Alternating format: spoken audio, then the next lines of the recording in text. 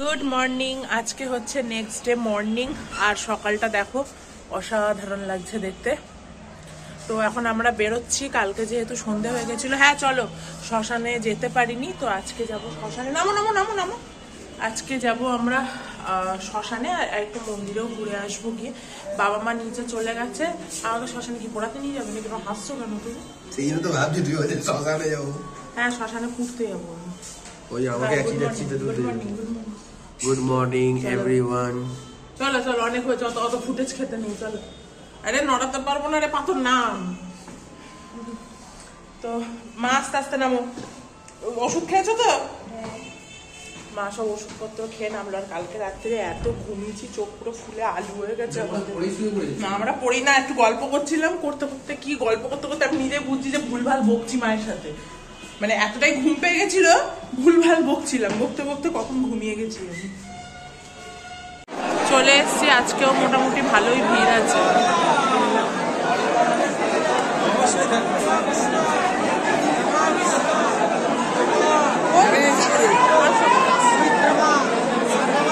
ভালো ভিড় দেখা যাবে না ভিড় হয়েছে মারাত্মক গো। কালকের থেকেও ভিড় হয়েছে ভালো বেশি ভিড় হয়েছে মায়ের মুখটা দেখা যাচ্ছে দেখা যাচ্ছে বাবা কে রে? এই হচ্ছে মায়ের মন্দির। চলো সবাই দাঁড়িয়ে আছে। আমাদের কাজ হয়ে গেছে ছবি তোলা সব তোলা হয়ে গেছে। চলো। কি মা? আগের দিন রাত্রে আমরা শ্মশানে যেতে পারিনি, তো কেন বলতো ওখানে খুব অন্ধকার ছিল, ওর জন্য না যেতে পারিনি বা কিছু দেখতেও পারব না। ওর জন্য আজকে সকালবেলা এসছি আর এখানে দেখো মানে সিঁড়ির মধ্যে রয়্যাল বেঙ্গল টাইগারের যে সফট টয়েসগুলো হয় না, সেগুলোকে রেখে অনেকে এখানে ছবি তুলছে। কত করে ছবি সেটা আমি জানি না, কেননা জিজ্ঞাসাও করিনি আর ছবি তুলিও নিয়ে আর কি তো শ্মশান ঘাটে আসলাম কৌশিক বলছিল নাকি আগে এখানে মানে এমনি যেরকম হয় না শ্মশান ঘাটে এরকম কাঠে পোড়ানোর ওরকম ছিল বাট এখন নাকি সব ইলেকট্রিক চুল্লি করে দিয়েছে সে যাই হোক আমরা আর ওই দিকটা যাইনি মোটামুটি এই জায়গাগুলো ঘুরে তারপরে রুমে ফিরে এসেছি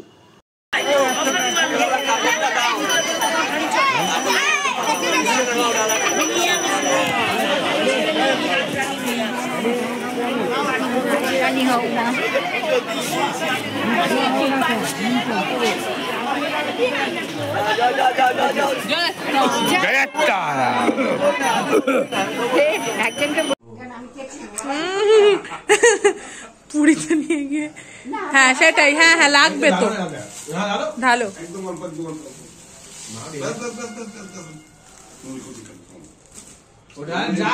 আরে, উঠে যাবে উঠে যাবে। মুড়ি ঠিক উঠে যাবে। ইউরিয়া দেওয়া মুড়ি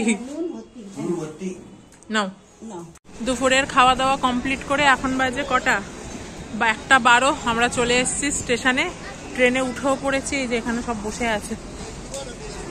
এই যে। শ্বশুর মশাই শাশুড়ি মা লালটু। মা! ও মা! হাই। সব বসে এখানে। আসো বাইরে আসলে আসো নাকি বসবে? বসলে বসো বসলে বসো কোনো অসুবিধা নেই বসো। অনেক দিন পর পেয়ারা মেখা হ্যাঁ ওই তো কাসন্দি ফাসন্দি দিয়ে মাখাবে। ওটা ঝাল দেবে হ্যাঁ। খাব বললাম তুমি খাব না একবারও বলেছি? না আমি খাই না না পেয়ারা খাই আমি। খালি ওগুলো কি কেনু নাকি না লেবু? না লেবু কেনুই কেনু কেনু। লোকাল বাড়ি পুরে মারলাম এখন বাজে একটা বাইশ। সব বেচারা ভেতরে বসে আছে। মা আর বাবা বসে আছে এখানে আমি শাশুড়ি মা বাবা সব বাইরে। আর তখন কি করব? ভেতরে বসে বসে তো পাঁচ ঘণ্টা বসে থাকতেই হবে ঠায়। এখানে ট্রেনের ইঞ্জিন চলে এসছে। ইঞ্জিনটা এখানে সব ফিক্স করা হচ্ছে। লাগানো হচ্ছে এখান দিয়ে চলে যাচ্ছে মালগাড়ি। চলে গেল মালগাড়ি ইঞ্জিনটা এতক্ষণ ছিল না এখন আসলো ইঞ্জিনটাই দেখো। ইঞ্জিন ফিট করছে এর মধ্যে। আমরা অলমোস্ট বাড়ির কাছাকাছি আছি অন দ্য ওয়ে আছি। এটা আমাদের পাড়াই আর কি বলতে পারো। আর আগামীকাল যেহেতু বাইশে জানুয়ারি, অযোধ্যা রাম মন্দিরের উদ্বোধন আছে, আমাদের এখানে না বিরাট বড় একটা বজরংবলির মন্দির আছে। তো সেই মন্দিরেই আর কি চারধার সাজিয়েছে, রাস্তাটাও সুন্দর করে সাজিয়েছে, আশেপাশের বাড়িগুলোও সব টুনি লাইট দিয়ে সাজিয়েছে। মানে একটা অন্যরকম ফিলিংস দিচ্ছে।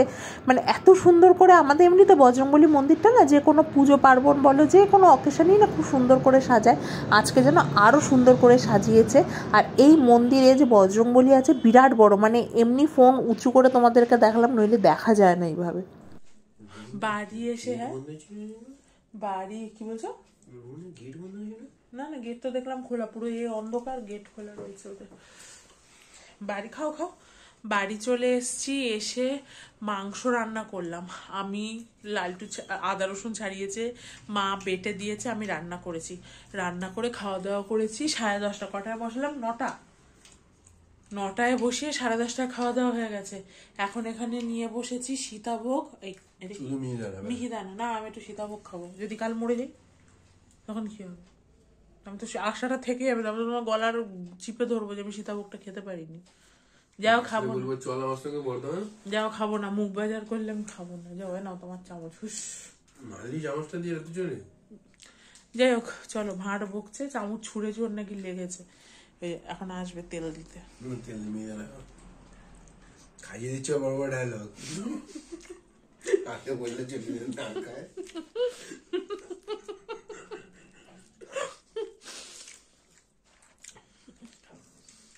না আমার বেলা তো বেশি উঠছে না চামচে।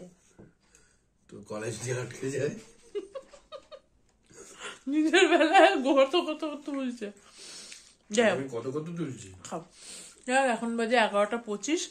আজকের মতো ব্লগটা এ পর্যন্তই। দুদিন ধরে দাঁড়াও ব্লগটা শেষ করি। লোকেরা দেখে বলবে ইচ্ছাটা করছে বউকে খাইয়ে দিচ্ছে। যাই হোক দুদিন ধরে পক্ষে খাইয়ে দিচ্ছি না। সে তো লোকের বউকে খাওয়ালে তুমি এখন আসতো বসেও থাকতে না। মারার হাফ মারার লোকের হাফ আর দিও না। ওটা তুমি খাও আমি বয়টা নেব। ওটা তুমি খাও। তুমি খাও। ইচ্ছা লোকের বউকে যেদিন খাবে সেদিন তুমি হাফ মার্ডার হয়ে যাবে আমার কাছে।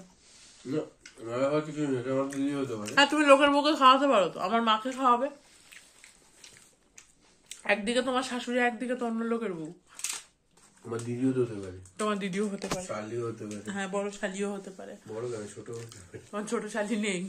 তার ছোট শালি বিয়ে হয়নি। আমি দিয়ে তারপরে খাব।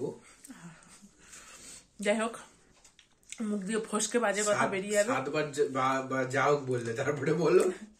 আজকের মতো ব্লগটা এই পর্যন্তই। আবার দেখা হবে নতুন একটা ব্লগের সাথে। আরেকজন নিয়ে বসেছে সীতাভোগ।